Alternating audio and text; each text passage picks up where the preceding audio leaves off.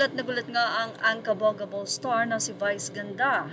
Matapos nga na madawit ang kanyang pangalan sa di umano ay uh, pakikisawsaw nito sa issue ng family yulo.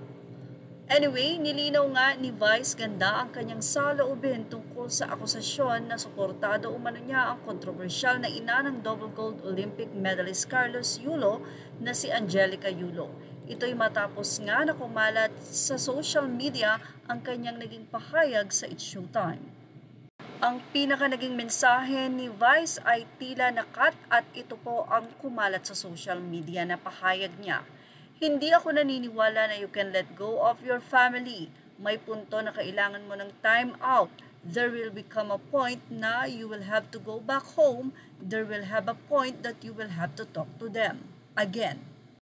Dahil sa sinabing ito ni Vice Ganda, inakala ng mga netizen na ito ay isa niyang parinig sa ngayon nga ay kontrobersyal na alitan between Carlos Yulo at sa inang si Angelica Yulo sa isang dating Twitter or sa X post ng isang netizen.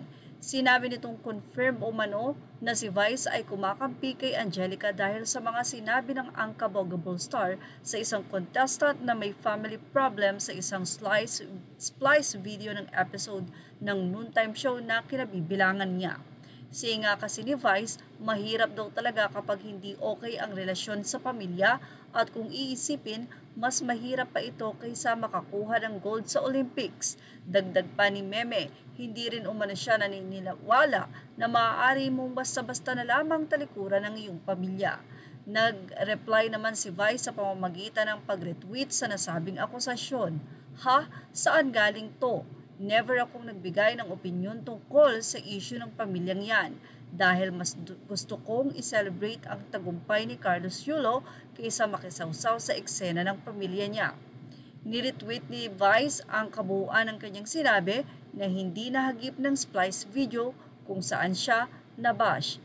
Sa continuation ng video, sinabi ni Vice, yun ang pamamaraan nila para makasurvive yun ang pamamaraan nila para maituloy ang buhay nila dahil yung pananatili sa loob ng bahay ay maaari nilang ikamatay, ikaupos ng kanilang espiritu, ikaubos ng kanilang lakas, ikadilim ng kanilang pag-iisip, at ikauubos ng pagmamahal nila. Nilagyan ni Vice ng caption ang retweeted video. Ayan, salamat po.